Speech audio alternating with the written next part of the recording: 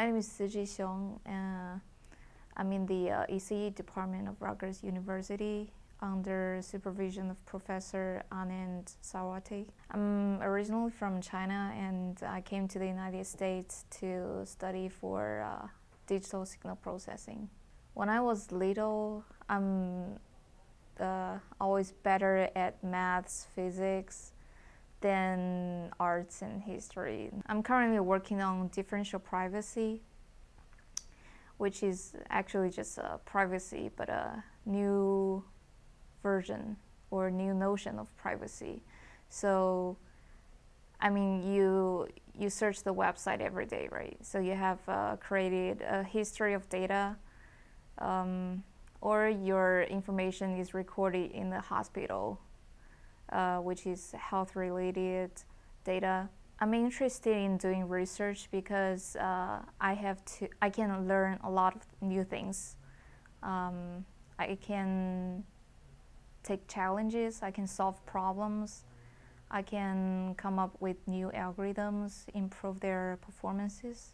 A very important thing is that you can work with people uh, in, the, in the research. So, I mean, uh, when I work with my advisor, I always get new ideas. Yeah, my parents are also in the education area, but they are uh, high school uh, teachers.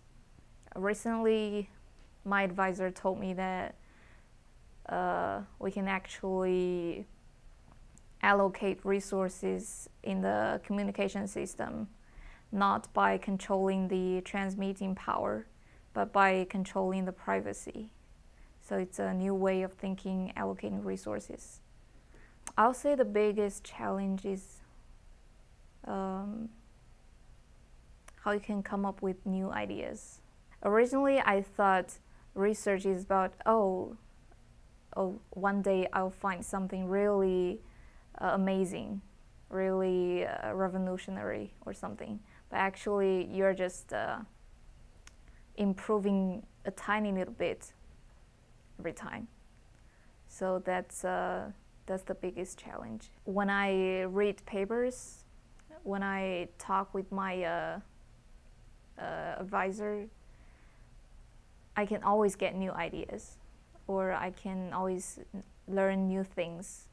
Um, and research is not as hard as they think because uh, when people do something they haven't done before, they always think that it's hard.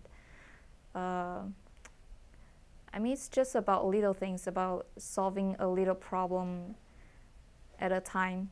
And then uh, when you look back, oh, you've seen you've you've gone so far. So it's not as hard as you think.